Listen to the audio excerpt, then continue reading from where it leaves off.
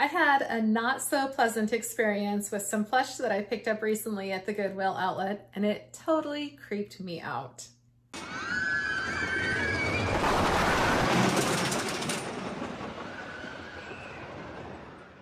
Hi, my name is Heather and I'm an online reseller. Today I am going to be sharing with you an experience that I had this last week with some stuff that I bought to resell online. So this is what happened. I was getting things ready to take pictures to get things listed and I grabbed a bag of plush out of my death pile that I bought over the summer and I went in and I started taking pictures. I opened up the bag full of all of these plush stuffed animals. There were probably 10 to 15 plush in this bag. And so I started taking the pictures and I got through three or four.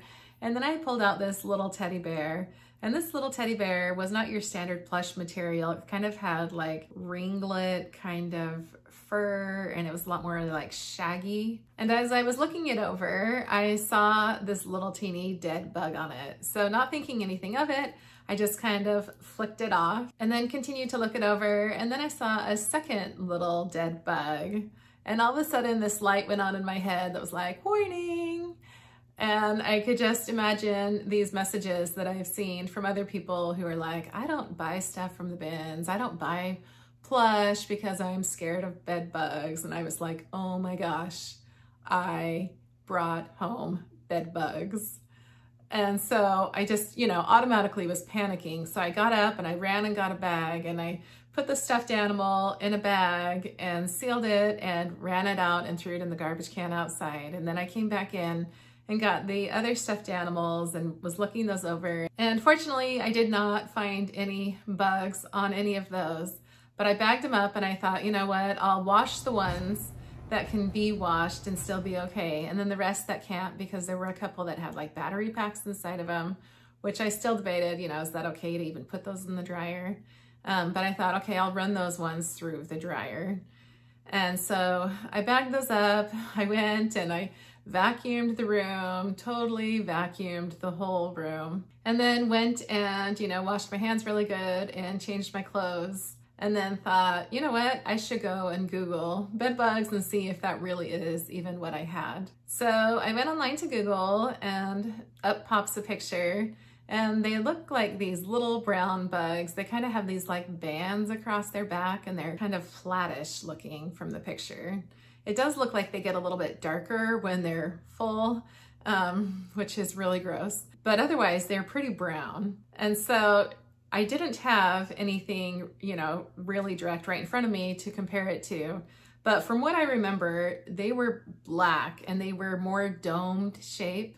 And so I really, it probably was not bed bugs, but I, you know, I was still pretty freaked out.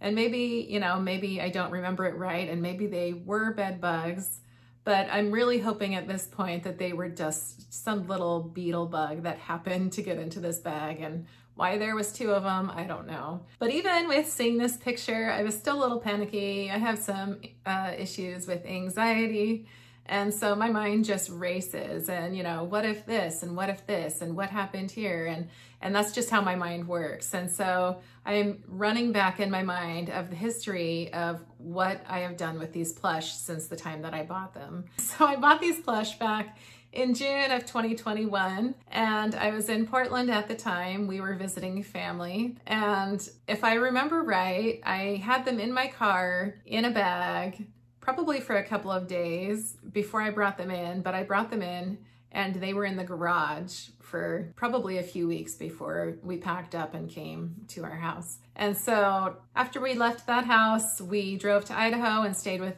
a family in Idaho for just a little bit. And so in the meantime, this was all sitting in the car. All of this stuff that I bought, we just left in the car. And after doing some research online, it looks like cars heat up to like 40 degrees over the actual temperature that it is outside within like an hour. And so, you know, it's in the middle of the summer. So even in Idaho, I would say it was probably getting up at least 85, 90 each day. And these were sitting in the car for a good couple of weeks in those temperatures. And with bed bugs, they do not like to be out of kind of, you know, what human temperature is like. They really like to stay in like, you know, the 70 to 80 range. They don't really like really cold temperatures. They don't like super hot temperatures.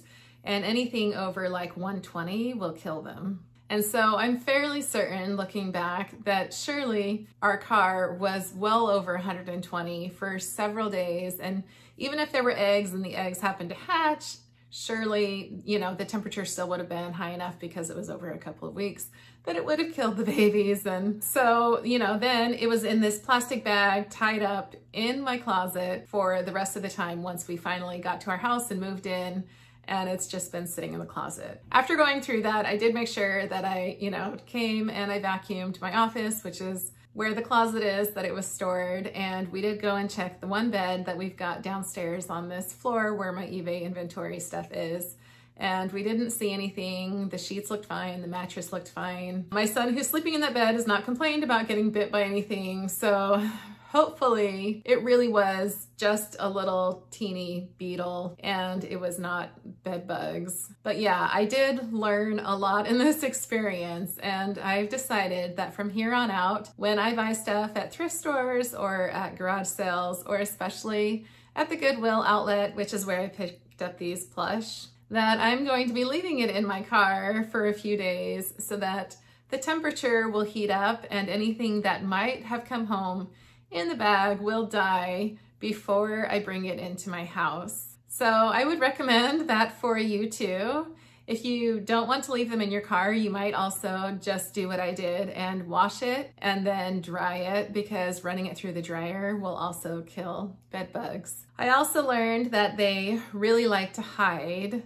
There was actually one plush that I had come out of the wash and the dryer and now I was like super, you know, cautious looking for bed bugs, but they said they really like to hide, you know, to look in the seams of things, even if you've got pillows or on mattresses or on plush, or, you know, if you had clothing, like say you found it at the bins, they would, you know, want to go for like the pockets or, you know, in between the seams of things because they just like to dig in and hide. As I was listing some of these plush that I had put through the wash and the dryer, there was one flamingo that I had that did have a little bug and it was in the seam. And so out of utmost caution, I decided, you know, it was just better to just bag it and throw it away than to have to worry, you know, that I might possibly be sending bed bugs off to somebody else, even though in the back of my mind, I know the chance of them being alive at this point, if it really was, is like nothing. But yeah, still, still totally freaked me out. And I have not even sold used stuff for very long, probably a year and a half that I've done clothes and plush from, you know, thrift stores. And so yeah, it was definitely an alarming and scary situation, but I did learn and hopefully maybe you'll learn something something from this too, that you have to be really careful. I think that it's still okay to be out buying stuff. And I know that people buy stuff at thrift stores all the time, and this is a rare occasion, but bed bugs do exist and they are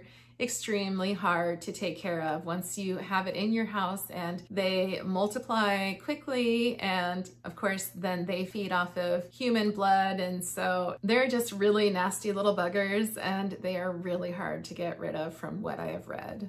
So just out of curiosity, have you guys had any experience with uh, bringing home any kind of bugs or bed bugs from thrifting? Or do you take extra precautions to make sure that you don't end up with these kind of problems? My hope is that you haven't and that this really is just a fluke, really rare occasion that people actually do come across bed bugs. I would imagine that if it was really common, we probably would hear about it more on YouTube. And I did go and look it up on YouTube and I only came across like two videos that were even talking about bed bugs and one was Rake and Profit and he was just talking about how to be extra cautious not to bring them home but he had never ever had them and then another one was somebody talking about finding them on pillows at a Goodwill outlet in Ohio somewhere.